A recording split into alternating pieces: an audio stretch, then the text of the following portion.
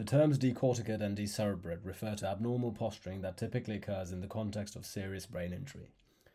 It occurs when one set of muscles becomes inactivated whilst the antagonist muscle group is not. It can be demonstrated by applying a painful stimulus such as supraorbital pressure or performing a trap squeeze. Given that they're both indicative of serious brain injury, they're both associated with a generally poor prognosis. In decorticate posturing, the flexor muscle groups of the upper limbs predominate, making the patient flex their arms towards their core. A useful way of remembering this is that decorticate is towards the core. In decerebrate posturing, the extensor muscles of the upper limbs predominate, resulting in internal rotation of the arms and extension at the elbows. The word decerebrate has several E's, and it can be remembered as E for extensors. In both forms of posturing, the extensor muscles of the lower limbs predominate, resulting in extension of the lower limbs.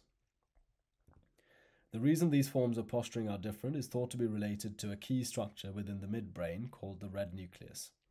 It's the origin of the rubrospinal tract, which is responsible for control of muscle tone in flexor muscle groups. Decorticate posturing arises due to brain injury above the level of the red nucleus in the midbrain. This results in disinhibition of the red nucleus and the rubrospinal tract, leading to increased stimulation of the flexor muscles of the upper limbs. On the Glasgow Coma scale, it gives a motor score of 3. Decerebrate posturing, on the other hand, arises due to brain injury below the level of the red nucleus. Disruption of the rubrospinal tract results in impairment of flexion and hence abnormal extension in the upper limbs. Decerebrate posturing is considered a more serious sign as it is suggestive of an injury lower down in the brainstem. It therefore gives a GCS motor score of 2.